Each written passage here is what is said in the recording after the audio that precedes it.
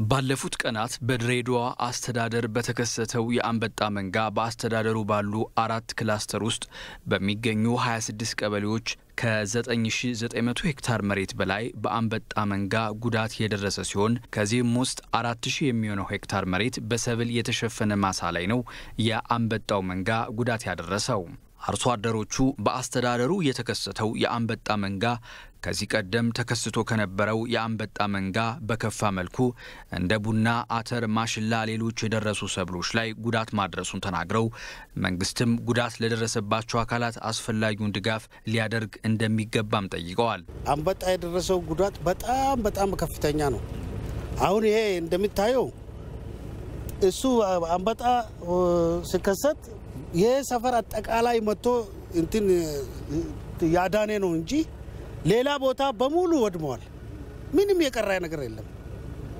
ገበሬ ቡና፣ አተር፣ በቃ ሚጣጢስ ያለው ሁሉ ወድመዋል እንዳለ። መንግስት አሁን በቃ የገበሬዎች ገበሬ የወደሙትን እርሻ አይቶ በቃ ለህብረተሰቡ በቃ እርዳታ እንዲያደርጉልን እንጠይቃለን ማለት ነው። አምናም መጣ፣ ግን እንደዛ አላየሁትም። በጣም ከፍተኛ መንጋ ነበር የገባው። አካባቢያችን በጣም ነው የወረረው። እርሻችን እንዳየው በቃ በለጎዳ ጉኑፈታ ያለው እርሻ ሁሉ እንደዚህ ነው ያደረገው። ማለትም ከህብረተሰቡ አቅም በላይ ከመንግስትም አቅም በላይ ሆኖ ይህንን ጉዳት አደርሶብናል። አስተዳደሩ የተከሰተው የአንበጣ መንጋ የአርሶ አደሩን የደረሱ ሰብሎች እንዲሁም የአርብቶ አደሩን የግጦሽ መሬት ላይ ከፍተኛ የሆነ ጉዳት ማድረሱን የድሬዳዋ አስተዳደር ከንቲባ አቶ አህመድ መሐመድ ተናግረው አስተዳደሩም የጉዳት መጠኑን በመመልከትና ከህብረተሰቡ ጎን በመሆን በቀጣይ ድጋፍ እንደሚያደርግም ተናግረዋል። አንበጣው በጣም ከፍተኛ ጉዳት አድርሷል እና እህሉ በሙሉ አብዛኛው የተበላ ነው። ሽንኩርቱም፣ ማሽላውም፣ በቆሎውም ሌላው በሙሉ የተጎዳ even በአርሶ አደሩ አካባቢ ያደረሰው ጉዳት ይህን ይመስላል። አርብቶ አደሩ አካባቢ ደግሞ የግጦሽ መሬቱ የተበላ ነው። ከዛኛው ቲም በተደረገልን ሪፖርት ማለት ነው።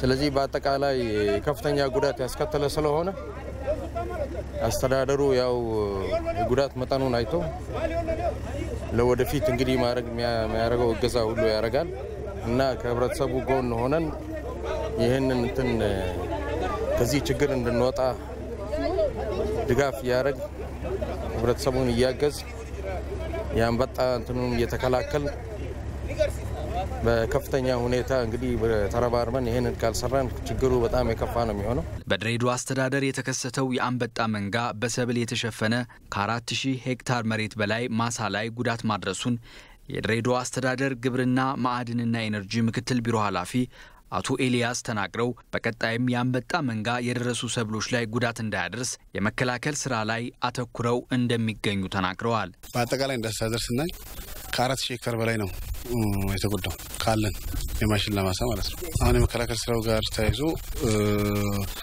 ባለን material እንግዲህ እንደ motorize መርጫ መሳሪያ በመኪና ላይ በሚጫነ ሞተር ሌላ በሰው ኃይል እያዝና እንዲሁም ULV የሚባሉ ትናንሽ መከላከያዎች እያደረግን ነው። ዘገባው የድሬዳዋ አስተዳደር የመንግስት ኮሚኒኬሽን ጉዳዮች ቢሮ ነው።